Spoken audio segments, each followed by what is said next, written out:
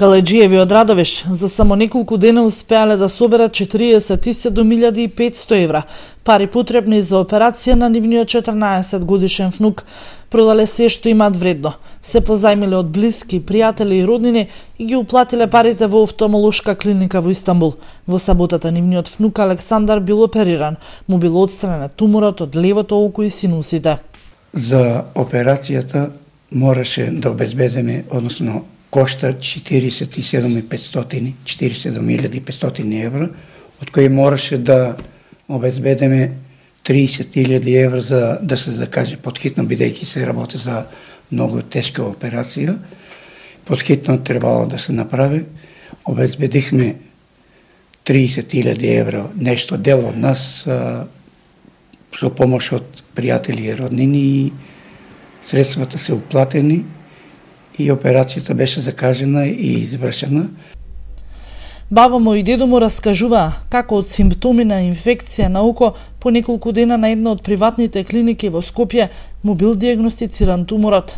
Прво окцето кажаа дека е инфекција. После кажаа дека е воспаление. Но тоа ништо не испадна и кажаа да се носе детето за Скопје однесеа го детето за Скопје со тие испитувања, кажа дека треба негде во странство да се лечи. Сега веќе в четврток ќе мора да уплатат нови 60.000 евра, со што би се отпочнала хемотерапијата.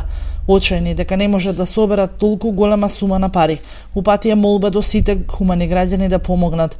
Малиот Александар да продолжи со безгрижните детски денови и својот омилен спорт, фудбалот. Апел давам до граѓаните кој може и колку може само за да даде, за да се спасе детето.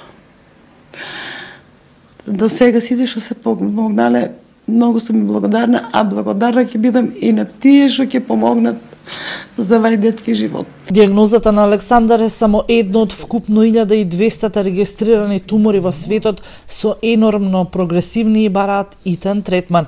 Поради итноста на зафатот, семејството не поднеле барања ниту во фондот за здравствено осигурување, со што ќе им бидат рефундирани средствата.